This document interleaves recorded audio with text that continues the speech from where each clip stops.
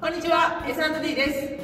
今日はスパイクの距離感がつかめずにかぶって打ってしまって力が乗らない。という方に向けて改善の練習とポイントを紹介していきます。スパイクを強く打てないというその大体の方がかぶって打ってしまっています。なので今日の練習をやるとだいぶ自分が入りすぎてしまっている。ということに気づくと思います。最初のうちは捉える位置が思ったより前すぎて手に当たらないんじゃないかという方が多いんですがちょっと前すぎるなと思ってもそれがちょうど前で捉えて力が入る位置なことが多いのでぜひ今日の練習を取り入れて自分が前で捉える感覚を味わってみてください。感覚を覚えてください。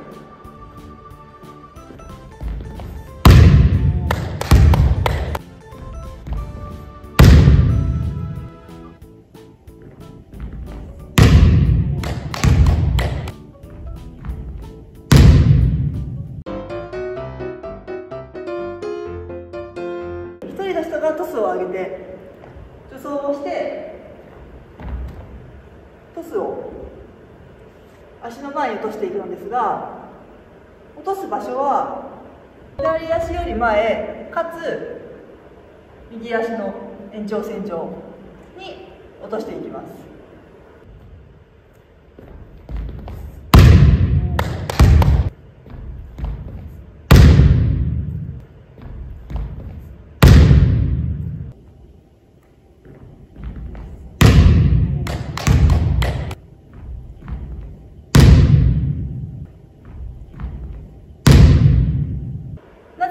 ぜここの位置かというと大体の方がこの練習した時に捉えてるのがここに当たります。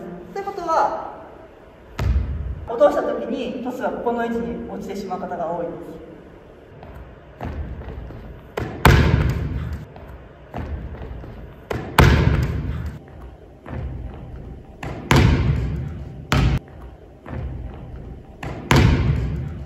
プラス左足の前に落ち落とすということは少し左寄りに捉えてしまうということになるので左足より前の右足の延長線上に落とすとここに落とすと一番力が乗った位置で打つことができるということになります。なのでトスを見てトスの状態に合わせてそこに入れるようになればどんなトスでも力の乗ったスパイクが打てるということになるのでこの練習を行っていきます。ここに来るまでは実際にスパイクを打つつもりで助走をしていきます。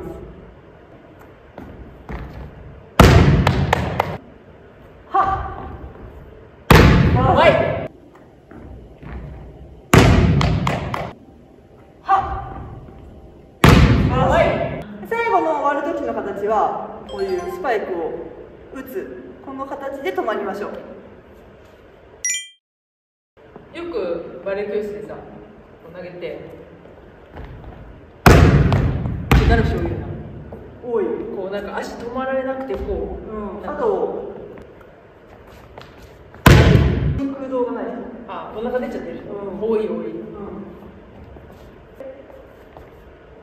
ここの形でを出して止まってる人が多いので必ずこのここにね空間を作る感じで最後この姿勢で止まりましょう。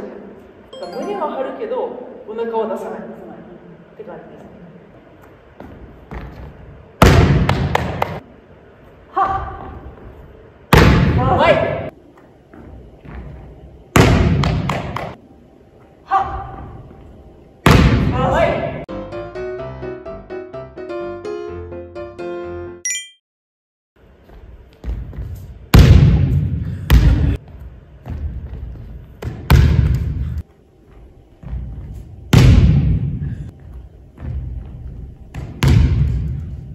ここに落とすとこ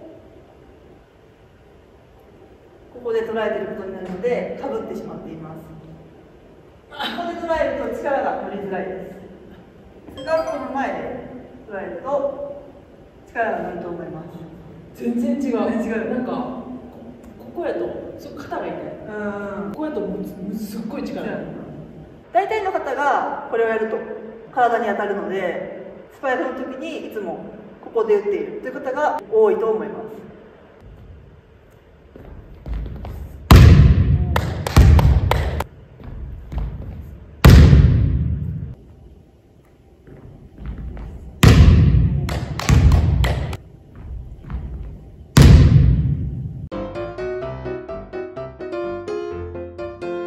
トスが少し向こうに行ったとしても助走の足で調節して必ずここに落としていきます。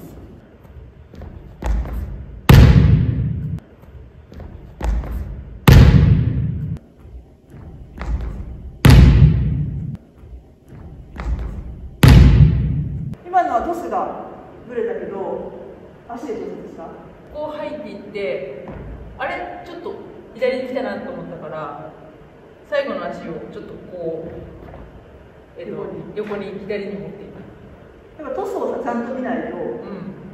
ここに落とせない。そうだね。思ったよりしっかり見てる。そうだよね。うん。すごいトスをしっかり見て、この助走の足を決めるっていうのはすごいスパイクで大事だよね。そうだね。ぼんやり見てない、うん。もうこのまずトスの軌道をちゃんとどこに来るかなってしっかり観察してるからここから見てる。そこから見て。るあごめん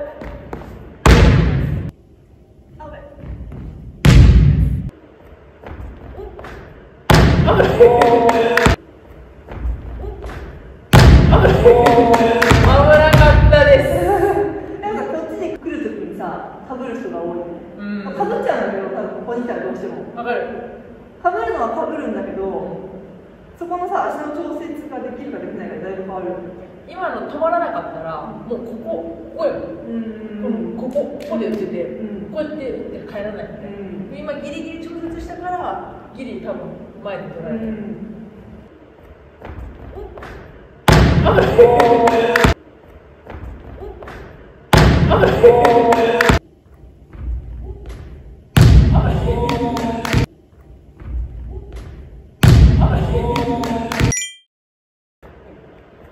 お前だしあすごい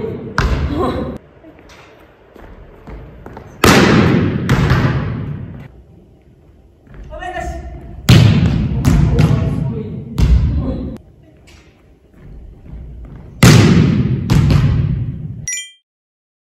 おすすめ動画こちらから。チャンネル登録はこちらから。インスタ TikTok、Twitter もやってますのでぜひ概要欄から見てください。また次回の動画でお会いしましょう。